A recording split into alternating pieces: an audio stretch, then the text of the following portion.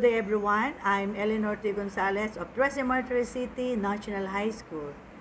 So the title of my action research is Impact of Flipped Classroom on the Mastery of Identified Competencies in Grade 8 Science. For rationale, the public school has traditional way of teaching which is done by lecturing and then assigning students to work using their textbook and perform other sets of activities outside the classroom premises.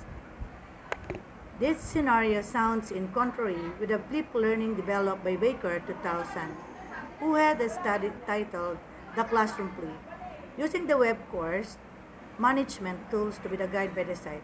In flip learning, lecturing is done at home through online and offline video designed or prepared by the teacher.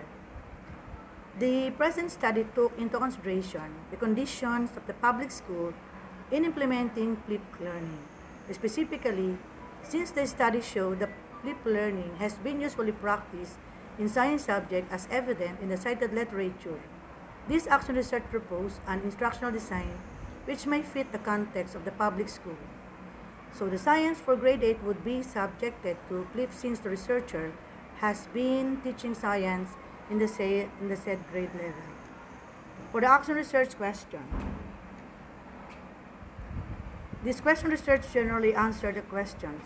Does the flipped classroom in grade 8 science impact the mastery among the students of the identified competencies? Specifically, this action research answered the following question. What is the pretest score of the student from the flipped classroom in the identified competencies in grade 8 science? Second, what is the posted score of the students from the flipped classroom in the identified competencies in grade 8 science? And the third one, what significant difference does, does exist between the pretest and the post-test scores of the flipped classroom in the identified competencies in grade 8 science? Then for the research hypothesis, there is no significant difference in the pretest scores and the post-test score among the students of both the flipped classroom and the identified competencies in grade 8 science. For the proposed innovation, intervention, and strategy, this action research proposed an instructional design called Flip Learning, which was specifically designed for grade 8 science. The competencies with which this study aimed to be mastered by the student are the following. First, illustrate how diseases of the digestive system are detected, prevented, or treated, and identifies helpful practices that affect the digestive system. Why these competencies? Because based on the experiences of the teachers handling the biology classes, these competencies are too complex to discuss with the students and which require instructional videos to better aid understanding of the concept. The intervention was used for two sessions, with one competency each session. Each lesson lasted for 60 minutes, and prior to the lesson and before coming to, to class, the students were asked to watch the instructional videos on the topic at home to ensure that they already know the topics to be discussed in the classroom. Meanwhile, during the 60-minute lesson, the following schedule was followed. The 10 minutes is devoted for preparation a question by the students. The 20 minutes, the researcher facilitates discussion and gives instruction for application activity. The 20 minutes students perform the application activity and the last 10 minutes will be devoted for taking the post-test and then afterwards the researcher provide instruction for the next homework or activity.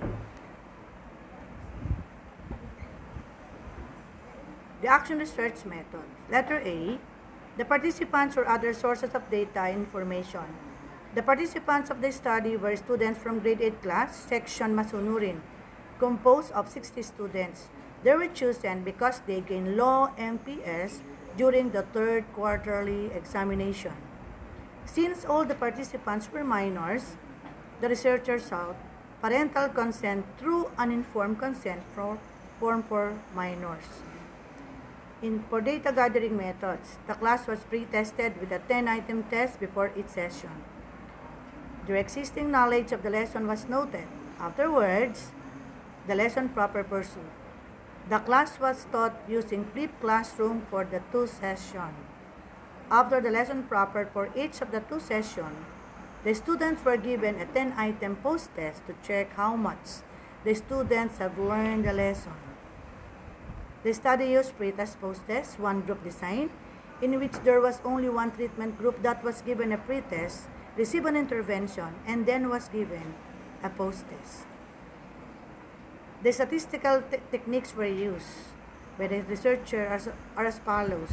To determine the result of the pre-test and post-test scores of the students, data was analyzed using descriptive statistics such as frequency, count, mean, SD, and MPS, and to determine the effects of the flipped classroom intervention where the test was used.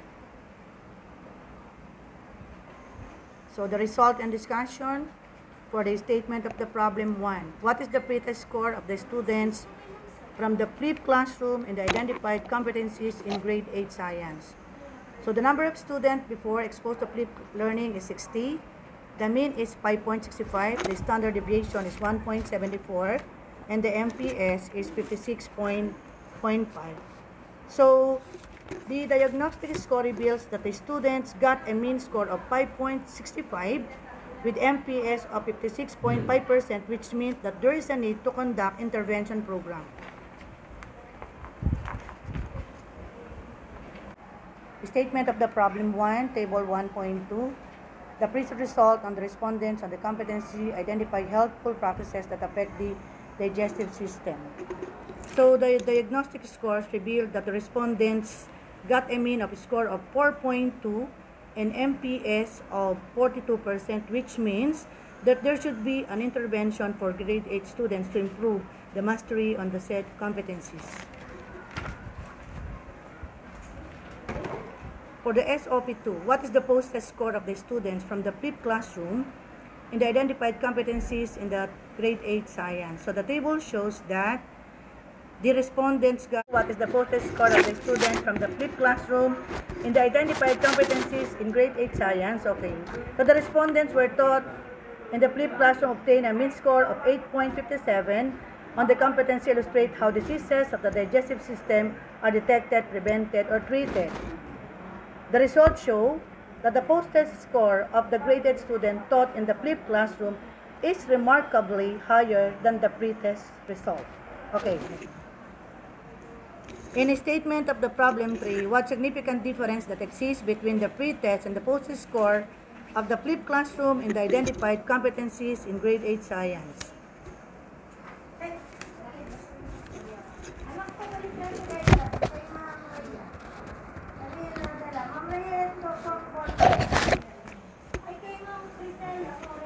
So based on the table, okay, since that the computed value of p-value is 2.07, it's a way lower than 0.05 level of significant, it should be noted that there is a significant difference in the performance of the graded student in their pre-test and post-test.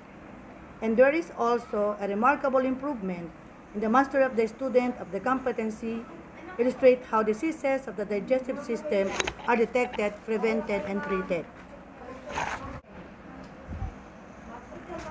So in table 3.2, it shows that there is also remarkable improvement in the mastery of the students of the competency in identify helpful practices that affect the digestive system. So therefore, there is a significant difference in the performance of graded students on their pre-test and post-test. Therefore, the null hypothesis is rejected. Okay. So for recommendation, in flipping, students' note-taking skills should be assessed and then taught. Listening and watching lecture videos require them to be good in note-taking skills. A learning log or template should be should also be provided to them while watching the video. Learners' profile and capacity to have an access on the internet should also be considered since not all students in the public school could afford to have an Android phone with internet access.